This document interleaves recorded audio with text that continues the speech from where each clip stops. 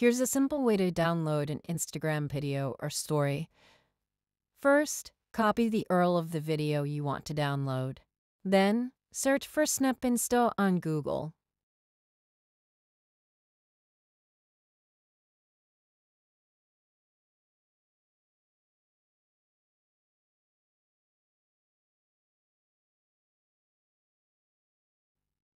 Go to the Snapinsta website.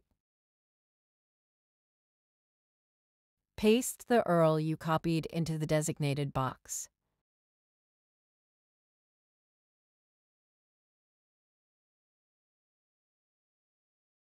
Close any ads that pop up, then click the download option below to download the video.